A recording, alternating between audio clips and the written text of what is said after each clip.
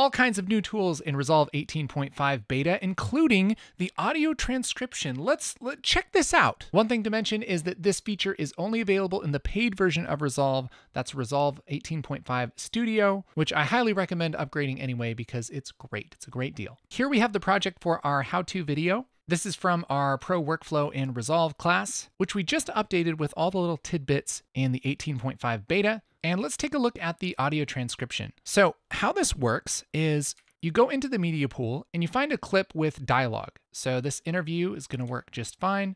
This whole thing is about 10 minutes long, and we just got to right click on this and go down to transcribe audio. And this will take a minute and kind of think about it, but once it's done, you'll have a transcription of everything in the interview, which is really convenient. And you can do some cool stuff with this. One, I mean, obviously you have this transcription. You can go up to this button right here and export this as just a text file. So you have the transcription just so you can kind of export a script like that. You can also select a piece of the script and do some various things with it. One thing you can do is make a subclip. So I can just click on this and that will make a subclip and add it to my media pool. And so I love Thai tea. Go ahead and hit create. And now we have a subclip, which is just that part. So that's a nice way to just kind of keep some parts that you like. You could also select a part here and click on marker and that will add a marker with duration in between what he's saying. So here we have marker one right here in our clip. If I have this selected, I can also just play the in and out. Let's get one thing out of the way first.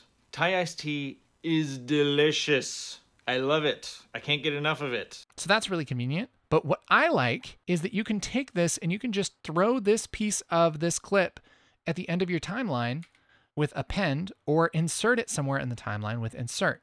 So let's say I'm working from a script. I could go through here and search for each part of the script, right? We just click on this little search icon and we can type whatever we want to search for. So I'll just type in Sam. So anytime he says his name, he says his name five times, it looks like. So we'll just go through here and it'll highlight, my name is Sam and I make videos on YouTube. My name is Sam and I make delicious cooking videos for you right here on the internet. What's up? My name is Sam. What's up? My name is Sam. My name is Sam. and I make delicious cooking videos. See, I'm thinking that we want the one, my name is Sam and I make delicious cooking videos for you right here on the internet. Today we're going to be making Thai iced tea. That sounds good.